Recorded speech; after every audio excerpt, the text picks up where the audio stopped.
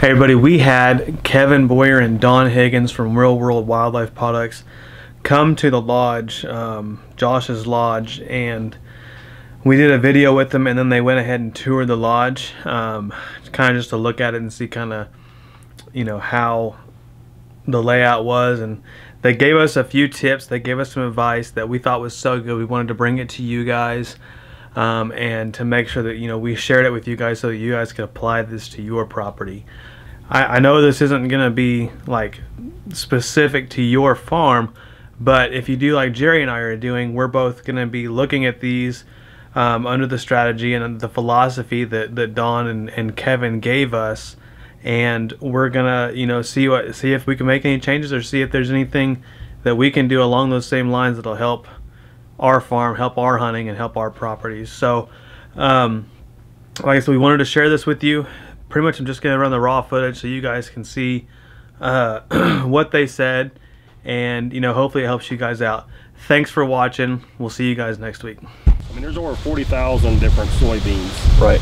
So when we when we look at it, you know, we're looking at for strength and shatter resistance and oil and yeah. and then if even you plant it out there, there's been guys that have slowly found out that you know, just because you plant soybeans don't mean the deer are going to eat them. There's certain soybeans that deer don't like the taste of, whether it's the green leaves or the, the pods. Mm -hmm. Do you find so, that through uh, through the entire region, or just, or is it different no, just from place to place, or is that certain varieties? Certain varieties, certain varieties like that, yeah. So. Yeah, and like I say, we tested 318 varieties out of over 40,000, so there's a lot of them we didn't get to test that we don't.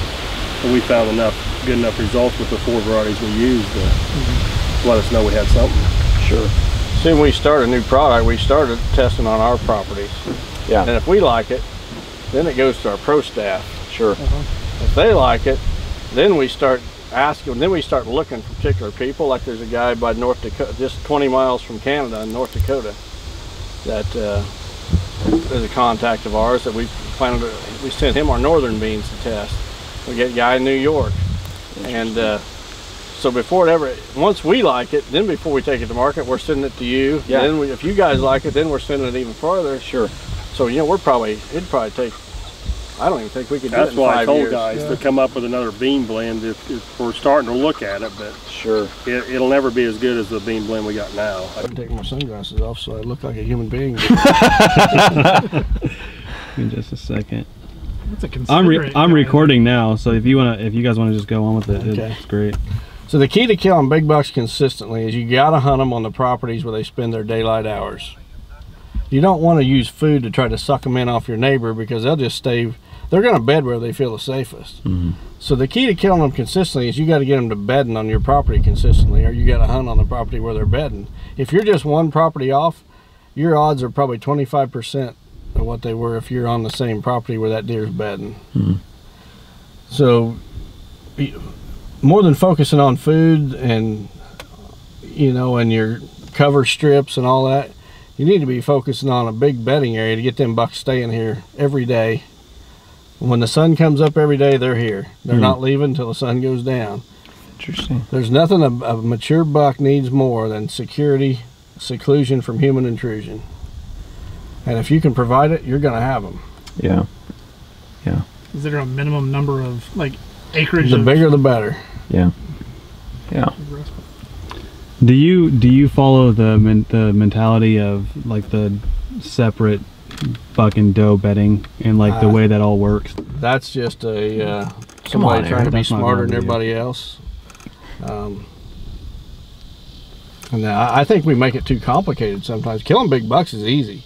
Once you see it happen, it's so simple that the next one becomes a little easier. And the next one, be, by, by the time you've killed a half a dozen of them, it's like you can just see when you go onto a property, you just see that that's where this needs to be. That's where that needs to be. Here's where you need to be hunting.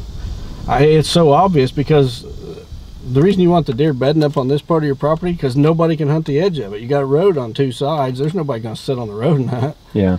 So, well, it's going to be, the cover's going to be so thick here anyway that they're not even going to be able to see a deer in here unless it steps out on the road. Yeah. Uh, I'd get them bedding up here and the food would be over there behind your house and I'd catch them in between. Hmm. I would probably take this field and put it into trees and shrubs and then just let nature take its course, keep the mower and fire out of here. Mm-hmm. The bottom field, I may put in grass. Switchgrass, I think, would be your best bet. Real world switchgrass. If you've seen the patches that I've Kevin seen and you I had on standing next to it. Yeah.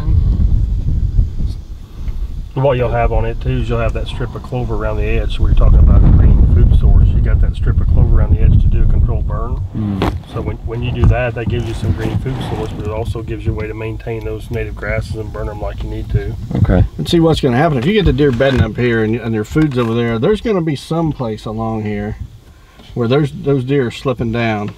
Yeah. Well, then you come in off the road Just down right through that in. creek, or there is a creek right there, right? Yes. You come Right right creek. down the creek and you come right up with a north wind blowing your scent right back out to the road, right down that creek bed. And if there's several trails where they're crossing, well, you drop some trees and you make them and you make them a good crossing, and, Yeah. and concentrate all that traffic right there. You've already got slip in with- for. And you can do the same thing over there with the south winds. Cut you a little path, and your south wind's blowing onto your neighbor. More reason for the deer to stay out of there. Exactly. Yeah. So in the the bottom area down here that you're talking about putting switchgrass, what's your thoughts about putting like wildflowers and things like that for uh for like Browse? forbs and I, I like keeping the food and the cover separate, and the Yeah. reason for it when a buck get, is hungry and he wants to get up and eat, I want him going. I don't want him just standing up and eating at his feet. I want him getting up and moving because when he moves, he's vulnerable to hunting pressure. Yeah. And uh, so that's why we got the bedding cover on one end of the property with this plan, and we got the food clear at the other. The transition zone in between is where you're going to kill most of them. Interesting. Would you design anything down there to make it a pinch point, or just Oh, yeah, possibly, yeah. okay? I think that creek's going to do a pretty good job for you, though. Yeah. Yeah. So you're saying leave the big areas itself as a bedding, and then Stay out of stay out of this the, side. Use the dam and then this creek as your pinches. Yeah. Because they all cross when we. Well, it's it's a dry pond is what it is. When we drove over that, all the almost all the deer walk over that dry pond. Mhm. Almost all of them do. you could hunt. It's a high spot, but Well, as this comes together, the deer trails are going to be, or, or the the preferred paths are going to be obvious. I mean, Yeah. blatantly obvious. Yeah. You're probably, if you do this right, in ten years, this hundred acres will have more deer on it than the thousand acres that surrounds it. A- Ask Kevin about my place. I mean, you come to my place, it's 120 acres, but I guarantee you, I've got more deer on that 120 acres than the rest of my township. really, Yeah, oh, we darn. multiple mature bucks at one time. Yeah.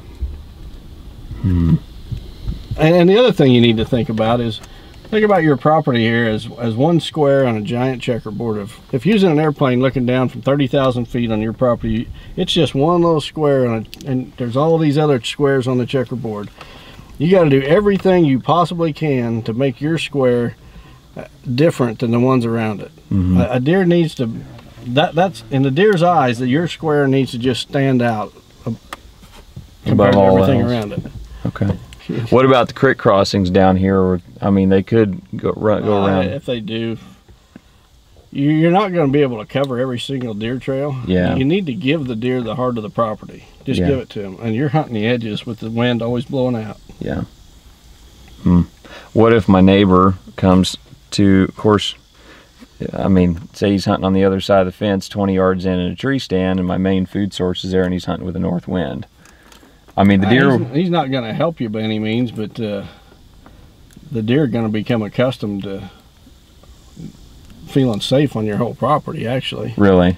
yeah. Now that doesn't mean they're going to go downwind to him and just eat like nothing's going on. Yeah. They're not, but it, it's definitely not a good thing. Mm-hmm.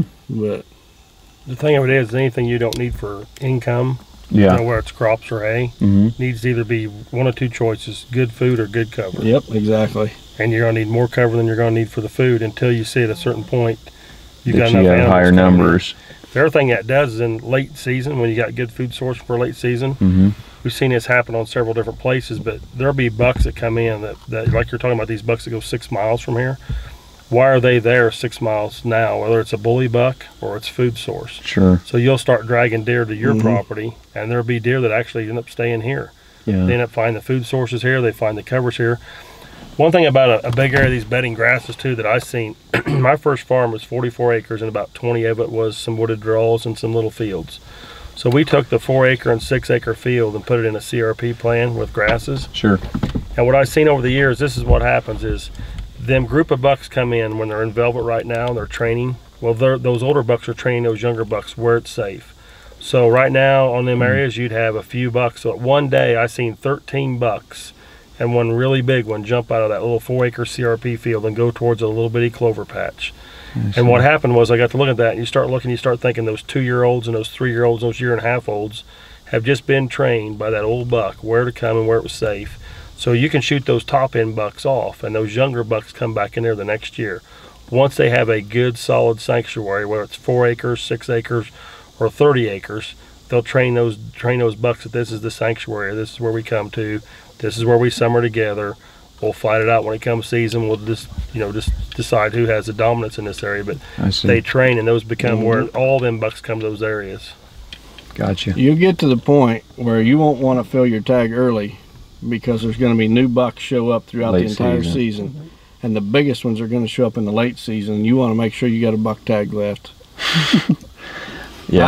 I, I've Well, seen it. and here's the deal: is I'm, I love, like I said, I love to deer hunt, but like my dying passion is shed hunting. Mhm.